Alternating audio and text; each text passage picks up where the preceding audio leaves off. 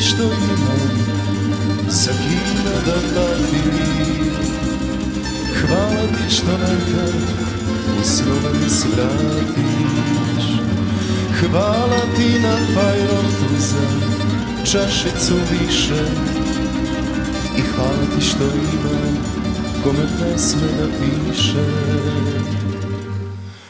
Ostaješ u sećanju Za vreme dugo.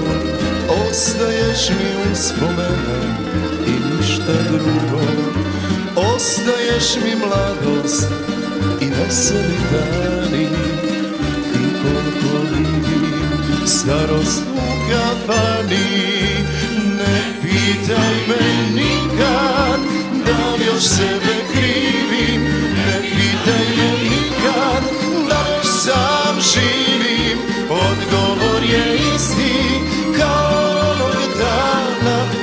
otišla si sama i ostalo sa nama.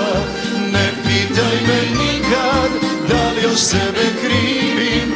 Ne pitaj me nikad da li još sam živim. Odgovor je isti kao onog dana. Kad otišla si sama i ostao sa nama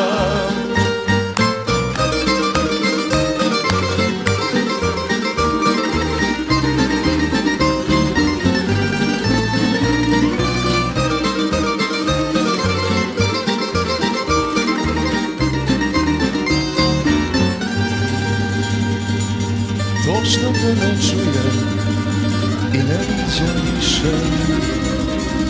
Nisam prestao duboko da dišem Kad prođu pored mene sa tvojom parfemom Još uvek te sanjam i zamišljam ženom.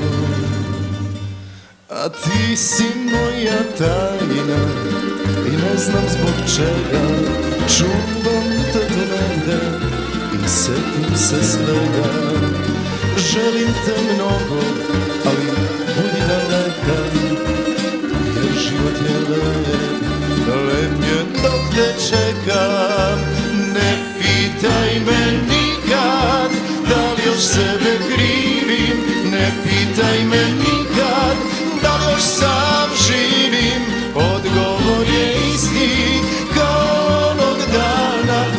otišla si sama, ja ostao sa nama. Ne pitaj me nikad da li još sebe krivim. Ne pitaj me nikad da li još sam živim. Odgovor je isti kao onog dana. Kad otišla si sama